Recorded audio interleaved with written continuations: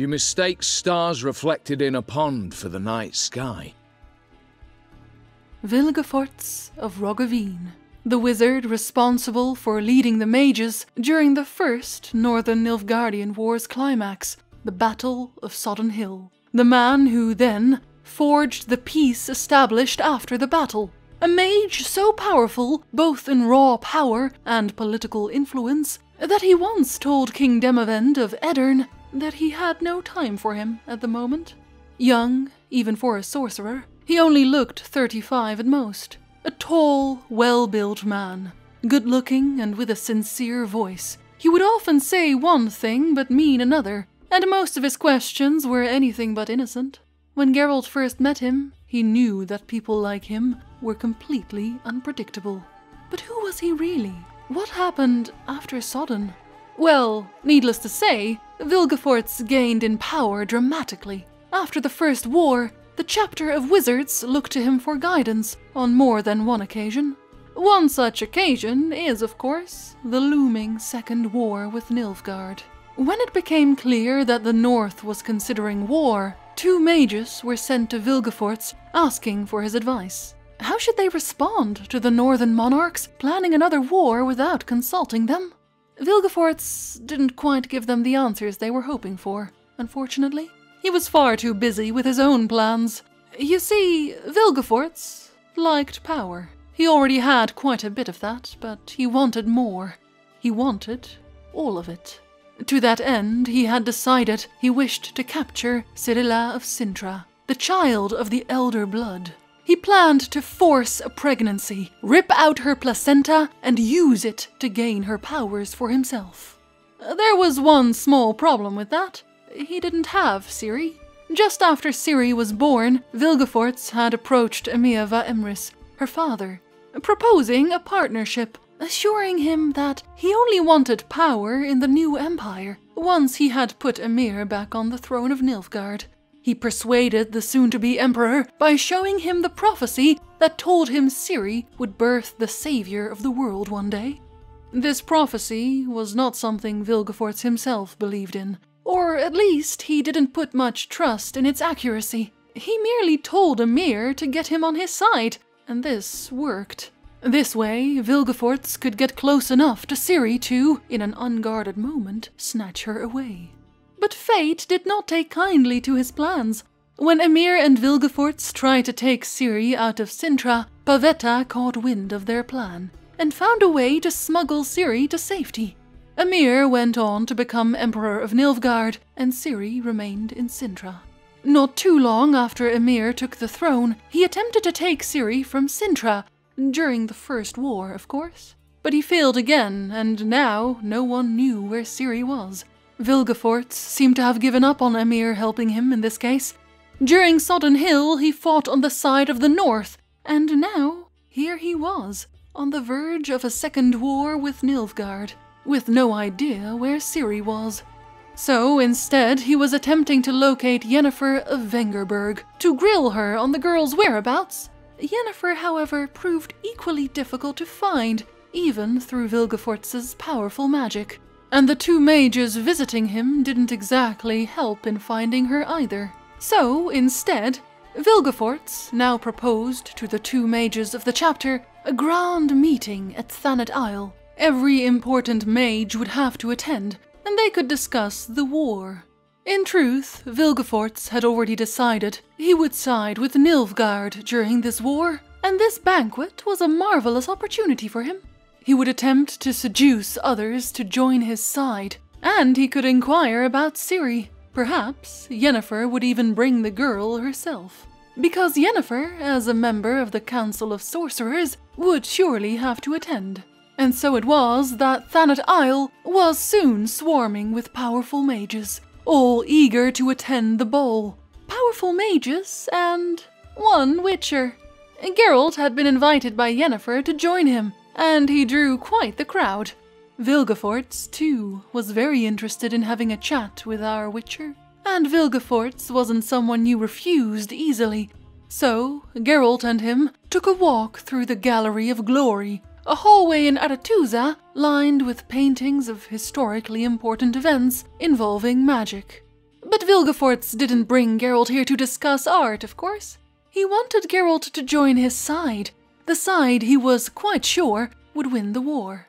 Not because he needed Geralt to win said war, but because he thought it would be easier to get a hold of Ciri if Geralt was willing to cooperate. He explained to Geralt that the day after the banquet, the members of the chapter and the Council of Wizards would convene in Garstang, a palace on Thanedd Isle. There they would debate about the future of the magical community in the coming war. And he used this conversational bridge to casually inquire why Geralt never became a mage himself. His mother was, after all, a sorceress, but Geralt didn't really think parentage was an important factor in anyone's future career. Though he did then ask Vilgefortz about his parents instead. As it turned out, Vilgefortz had no idea who his parents were. The Druid Circle in Kovir had found Vilgefortz in the gutter in Lan Exeter. They took him in and educated him, as a druid, of course. Vilgefortz didn't seem all too happy about this. He called druids a kind of mutant, a wanderer who travels the world and bows to sacred oaks. During certain druidic rituals, Vilgefortz's gift would show, pointing quite clearly to his origins. He was born by accident, and at least one of his parents was a mage. The person who discovered my modest abilities was, of course, a sorcerer, whom I met by accident, continued Vilgefortz calmly. He offered me a tremendous gift, the chance of an education and of self improvement, with a view to joining the Brotherhood of Sorcerers. And you, said the Witcher softly, accepted the offer. No, said Vilgefortz, his voice becoming increasingly cold and unpleasant. I rejected it in a rude, even boorish way. I unloaded all my anger on the old fool. I wanted him to feel guilty, he and his entire magical fraternity. Guilty, naturally, for the gutter in Lan Exeter. Guilty that one or two detestable conjurers, bastards without hearts or human feelings, had thrown me into that gutter at birth, and not before, when I wouldn't have survived. The sorcerer, it goes without saying, didn't understand, wasn't concerned by what I told him. He shrugged and went on his way, by doing so branding himself and his fellows with the stigma of insensitive, arrogant whoresons, worthy of the greatest contempt. Vilgefortz, at that point in his life, was quite sick of druids, so he left the sacred oak trees and ventured off into the world. He took on many roles, some he's still ashamed of till this day. He became a soldier for hire, leading the life you would expect of one. A victorious soldier, a beaten soldier, a marauder, robber, rapist, murderer, and finally a fleeing fugitive fleeing to the end of the world, running from the noose he had earned for himself. And then he met a woman, a sorceress. Their relationship was a complicated one, to say the least. He couldn't cope with the feelings he had for her, and she didn't exactly try to help him understand, so he left her. Because she was, in his words, promiscuous, arrogant, spiteful, unfeeling, and cold because it was impossible to dominate her, and her domination of him was humiliating to Vilgefortz. He left her because he knew she was only interested in him because of his intelligence, but he was not a sorcerer, and she usually only graced sorcerers with more than one night. And so far he had managed to obscure the fact that he wasn't one. He left her because she was like his mother. He suddenly understood his feelings for her. It was not love at all, but a mixture of fear, regret, fury, pangs of conscience, and the need for expiation. A sense of guilt, loss, and hurt. A perverse need for suffering and atonement. What he felt for that woman was hate. I left her, he said after a while, and then I couldn't live with the emptiness which engulfed me and I suddenly understood it wasn't the absence of a woman that causes that emptiness, but the lack of everything I had been feeling. It's a paradox, isn't it? I imagine I don't need to finish, you can guess what happened next. I became a sorcerer out of hatred, and only then did I understand how stupid I was. I mistook stars reflected in a pond at night for those in the sky. After telling Geralt his life story, Vilgefortz then outright tells Geralt to join him. When Geralt declines, the mage brings Ciri into the equation and threatens the Witcher. If Geralt doesn't join Vilgefortz, he says, he'll lose Ciri too. Later that night, however, the battle had already begun. Vilgefortz was not the only one plotting. The sorcerers of the north were aware that something was going on, and in the dead of night they apprehended those suspected of working with Nilfgaard. Lydia van Bredevoort, Vilgefortz's assistant, who was hopelessly in love with her master, was killed in the scuffle when she attacked those taking Vilgefortz away in shackles. The mages captured and the mages doing the capturing then convened in Garstang to talk this out. Unfortunately, during this talk, Yennefer teleported in with Ciri, and Ciri started prophesizing. She told of the assassination of Vizimir, which was in fact carried out by an accomplice of Vilgefortz, and she told of the start of the war, prompting Tissaia de Vries to decide that Vilgefortz and his companions were innocent of collusion with Nilfgaard, and she dropped the magical barrier around the island, giving the mages an opening to start all out mayhem. Francesca called for her Scoia'tael unit to back her up, and it became quite clear that they had been in league with Nilfgaard after all. Spells started flying as the two sides fought a miserable battle that no one could truly win, only survive. Tissaia, realizing her mistake only as she saw the corpses pile up, then tried to restrain Vilgefortz again but he only ridiculed and mocked her, and in the chaos, Vilgefortz slipped away in search of Ciri. Eventually, Geralt found Vilgefortz at the foot of Tor Lara, the Tower of the Gulls. Ciri had escaped into the tower, and the Witcher and the Mage were left to figure out who was to follow her up.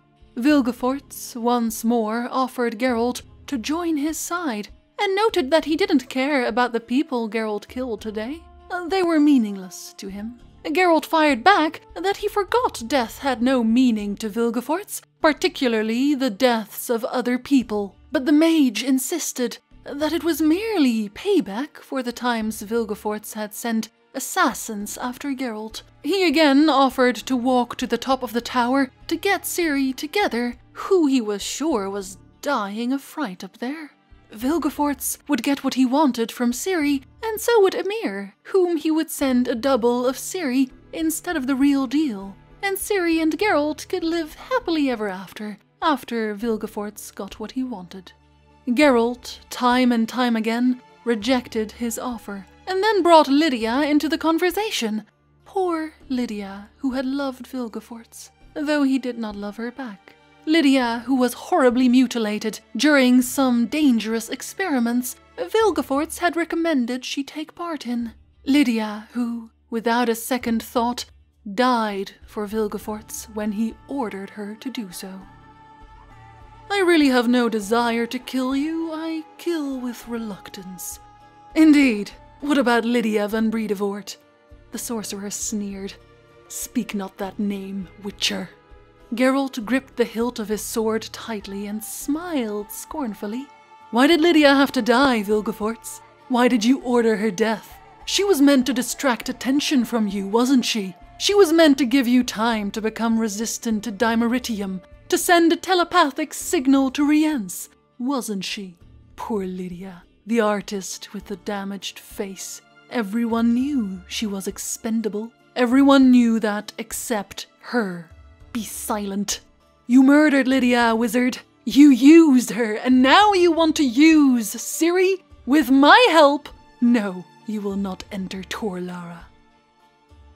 A stout, magical, two yard staff then materialized in Vilgefortz's hand, and their battle finally commenced. Only later would Geralt realize that this was a battle he could not win. All those years as a mercenary, traveling the world, fighting, then training as an archmage, had clearly had its effects. He fought like no other sorcerer ever would. Vilgefortz was incredibly fast, and his staff was not just magical, but also made of iron. Geralt was beaten into a pathetic mess, and his sword shattered. But Vilgefortz didn't kill Geralt, as he just didn't have the time to do so properly. He would only teach the Witcher a lesson. He left Geralt in shambles, while noting how happy he was to see Geralt bloody and beaten. Then he started up the stairs to the portal high in the tower. Or at least that's what Geralt thought.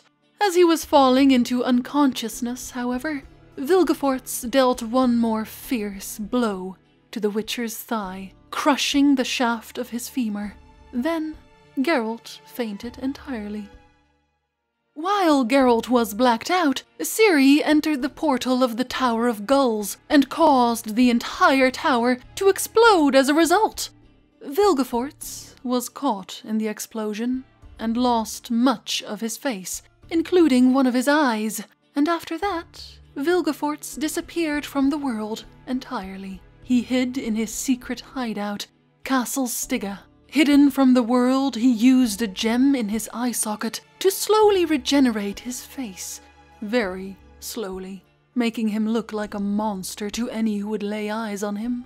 Now, he was hunted as well. Emhyr was convinced that Vilgefortz had betrayed him, and he had, of course. The Lodge of Sorceresses, which would soon be established, hunted him also, preventing him from ever teleporting, as they would easily find him. The Northern monarchs, still left, wanted him dead. In fact, very few people didn't want him dead. He couldn't quite show his face anywhere anymore, and so had to rely on his henchmen to clean up the mess he'd left behind, such as the older hideouts he'd used to practice his skills in.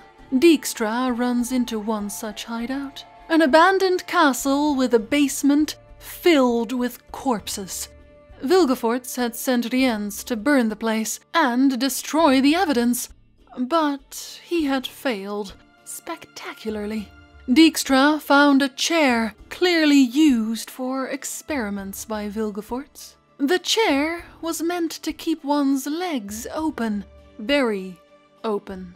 Pregnant women had, while still alive, sat in that chair as Vilgefortz practiced his operating skills. He had cut open their abdomen and uterus and removed the fetus. Of the corpses found, Dijkstra could identify one, Jolie, a young woman that had disappeared a year ago. As her corpse was still relatively fresh, it seems Vilgefortz had kidnapped her forcefully impregnated her, removed the fetus, then dumped her body in the cellar, not far from a pit filled with the bones of young girls. Vilgefortz had killed hundreds of young women in this castle. From his hideout, Vilgefortz now desperately searched for Ciri, and as he still couldn't go anywhere himself, he had to employ the aid of others. He sent henchmen all over the world in search of the girl. He even eventually made an alliance with Stefan Skellen and Leo Bonhart, both individuals who were also looking for Ciri, and almost got his hands on her this way. But again, she escaped at the last moment. Thankfully for Vilgefortz, Yennefer, in a desperate attempt to find Ciri, had attempted to teleport to his hideout, she barely survived the trip and was beaten mercilessly after arriving, but Vilgefortz, eager for the opportunity, then immediately dragged her broken body to his laboratory, where he hooked her up to his machines. This machine could locate Ciri, but only if it was linked to another person with powerful emotional ties to the girl, and only if Ciri cared for that person in the same way. Someone like Yennefer. Vilgefortz fed Yennefer some elixirs to activate the machine, and he urged her not to resist, to simply let him find Ciri through her. It wouldn't hurt if she just cooperated. Bend to his torture, give him her little girl so he could pluck out her eyes, as he promised Yennefer earlier. impregnate her, rip out her placenta, and throw her to Leo Bonhart again, as he'd promised the bounty hunter. Yennefer refused. She clenched her teeth so hard they cracked. Vilgefortz now, instead, tried to placate her, telling her that Ciri might be in danger, that she would be safe here, and once he got what he wanted from her, they'd both be free to go. That rather contradicted his earlier promises to both Yennefer, Rience, and Leo Bonhart, of course, so Yennefer gritted her teeth even harder until blood trickled down her chin. Vilgefortz, losing his patience, then called for Rience instead and resorted to old fashioned torture by using a thumbscrew and slowly turning the screws. Eventually, Yennefer's torpid, broken body was dragged out of the room towards the cellar. Yennefer had not given up Ciri's location. Unfortunately, by accident, Yennefer had thought of Geralt, and their feelings for each other were strong enough that Vilgefortz now knew where he was, and he sent Schirrú the half-elf to kill him. Now, for a time, he left Yennefer imprisoned in a damp cell. But when Vilgefortz realized he might still need her again, as his people had lost track of Ciri, again, he moved her to a slightly warmer cell and even invited her to dinner one time, where he spun lies about Ciri's and Geralt's deaths. Lies Yennefer quickly saw through. What Yennefer didn't realize was the real reason she was now being fed at a table and left in a nicer cell. Emhyr va Emrys was getting closer and closer to finding Vilgefortz, and the mage needed to get rid of him.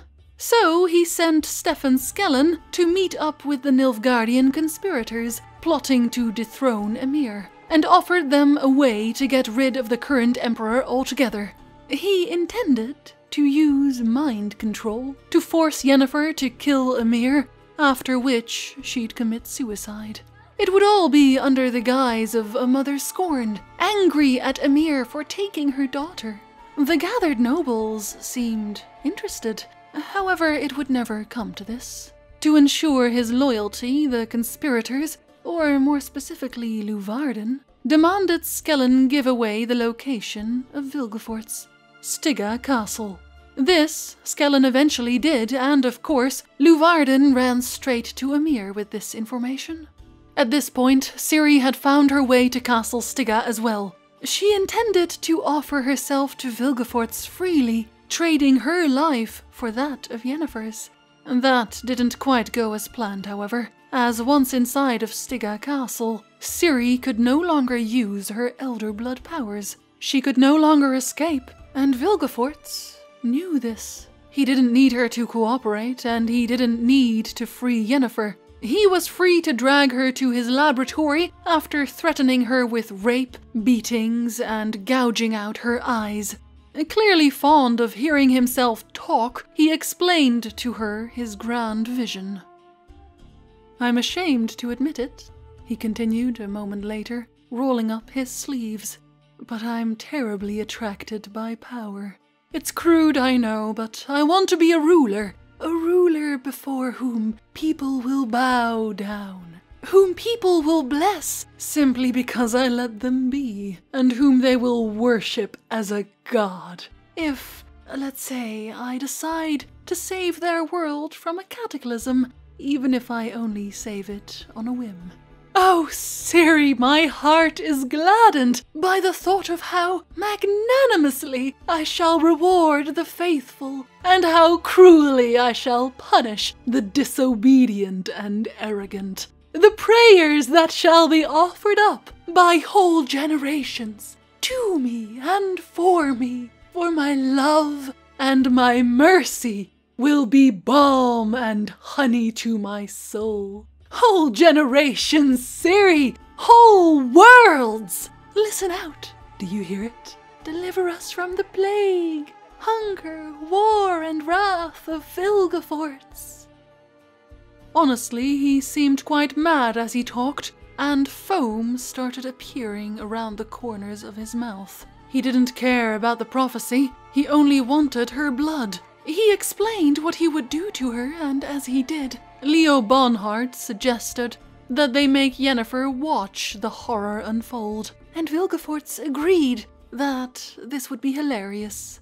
But before they could drag Yennefer into the room, Geralt and his group entered Castle Stygga and started slaughtering the guards. When Vilgefortz was informed of what was going on, his face remained calm, but his restless and blinking eye betrayed his worry. Things suddenly happened quickly. Geralt's team scouring the halls for Ciri and Yennefer, Regis saving Ciri from the laboratory, Ciri then going after Yennefer, until eventually Geralt and Yennefer faced Vilgefortz. A fight of magic and swords broke out as balls of fire and lightning were thrown left, right, and center, and Geralt swung his sword at the mage again and again. Vilgefortz walked towards them, his cloak fluttering like a dragon's wings. I'm not surprised at Yennefer, he said as he walked. She is a woman and thus an evolutionarily inferior creature, governed by hormonal chaos. But you, Geralt, are not only a man who is sensible by nature, but also a mutant, invulnerable to emotions.